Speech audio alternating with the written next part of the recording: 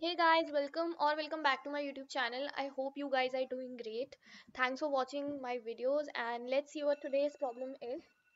So today's problem is convert an array into a 2D array with conditions. So basically we'll, we are given a, a, a 1D array and we have to convert it into 2D array. And there are some conditions. And what are those conditions? Uh, the 2D array should only contain elements of the array. Obviously we will be adding only the elements which are given in this array. Then we have to have only distinct integers in every row.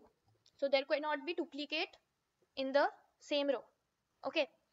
And the third condition is that uh, the number of rows should be minimal. Okay. We should not have like uh, infinite like just keep each and every element in a same uh, like different row. We cannot do that. Obviously we should have minimum number of rows we have to return the 2D array. Okay, so uh, let's understand the problem. Um, let me just write the test case. So we have this 1, 3, 4, 1, 1, 3, 4, 1 and uh, 2, 3, 1, 2, 3, 1. See, this is a 1D array which is given to us and we have to make a 2D array. Let's see what the 2D array is in the output. So in the output we have this 2d array. So first is 1 3 1 3 4 2 then we have 1 comma 3 and then we have 1 okay so this is what the 2d array is. So okay. Uh, now just see that how they are basically uh, adding all these elements in different rows.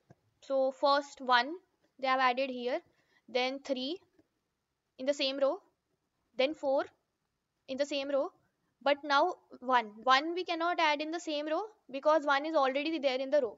It is mentioned in the question that we uh, every row can have only distinct integers, right? There cannot be duplicates. So 1 will go to the next row then. This one will go to the next row. Okay, then 2 we can add 2 here in this row right? We can add 2 in this row. And uh, then we will have 3 we cannot add 3 here because of the same reasons. 3 is there already in this row. So 3 we will add in the next row. And then we have 1 and we will add 1 a second row we cannot add because 1 is already there. So we will add it in the next row. Hence this is the 2d array which is made and it is the minimum number of rows which can be there. And uh, so basically yeah there are no duplicates in every row. So this is what the problem is. Now let's understand how we can think of a solution. Just pause the video and think of all the concepts which you know uh, and see if any of that concept can be applied here. Meanwhile i will write the uh, test case again. 1341 2 3 1 okay. So see guys. Here how you will think of the approach. How basically i think of, of the approach is i see some hints which i get from the problem statement itself. So if you see they are saying distinct. Basically there is something count involved right? Count. Ki basically what do you mean by distinct? That there should not be duplicate and how we can check whether there are duplicates? We store the count right? If we know the count of every like we say we know uh, let's say we know that one is occurring how many times? One is occurring three times. So obviously there will be three rows at least three rows because this one will go in one row then this one will go in another row and this one will go in the other row right? So this is one thing so there is something mm, like count involved. So when there is count it means you have to store the count. So you can use a data structure called as hash map to store the count. Right? You can use a data structure to store the count. Okay. Now fine. Let's understand uh, uh, one other uh, thing related to the problem. So um, see we have to basically make a 2D array, right? We have to make a 2D array. So basically 2D array means multiple 1D arrays. this first and see if you store the count of each of the key each of the element which is uh, there in this uh, array 1d array. So if you see 1 is occurring how many times? 3 times. Then 3 is occurring how many times? 3 is occurring 2 times. And then 4 is occurring how many times? 4 is occurring only one time. And then we have uh, 2 2 is occurring how many times? 2 is also occurring one time.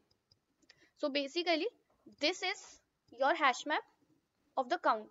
So this is the element is the key and value is the count of that element in the 1d array fine. This we understood. Now how many total number of rows will be there? How many total number of rows will be there in the 2d array.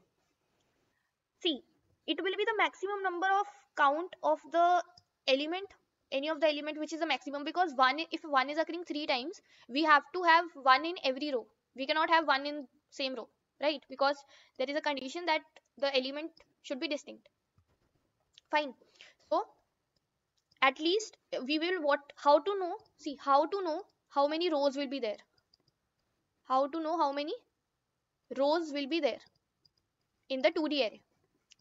The maximum count the maximum count. Let's say if one is occurring one more time here so the count here will be what?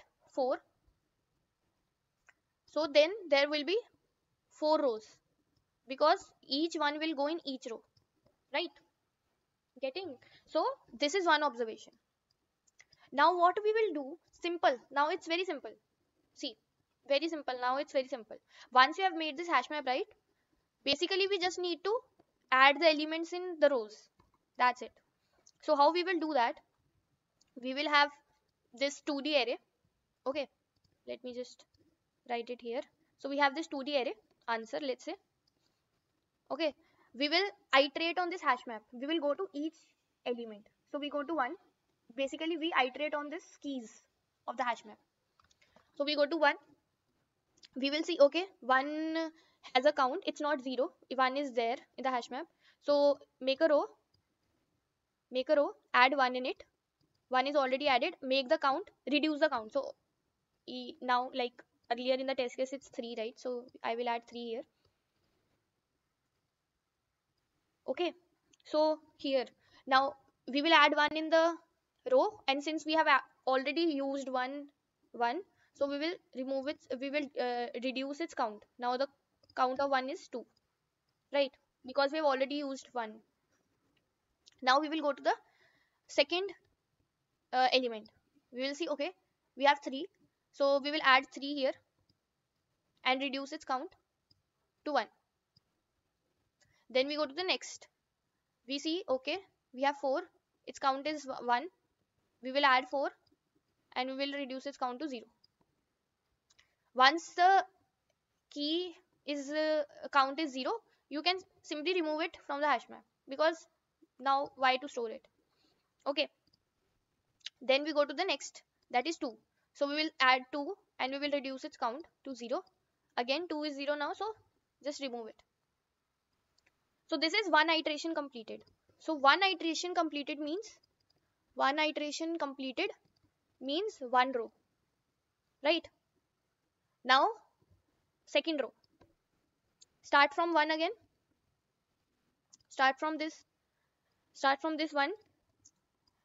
We will add one in the row and we will reduce its count. So now to count will be 1 okay. Then we will go to the next 3 and uh, 3 uh, count we will add 3 and we will just reduce this count to 0 now since 3 count is 0 we will remove it from the hash map. Okay. So again one iteration of the keys are completed. So one iteration one row. We will now start another iteration and we will make a new row.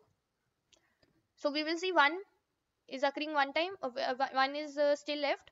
We will add one in the row reduce its count. It becomes 0 and we will remove it from the hash map. Once its count, uh, count is 0 so now our hash map has nothing. It is empty. Empty. Hence it means that we have used all the elements and have made all the rows. So this is our output. And see if you match it this is the same output as this. So i hope you understood the problem. And the approach basically what we are just doing is first of all we are making a hash map.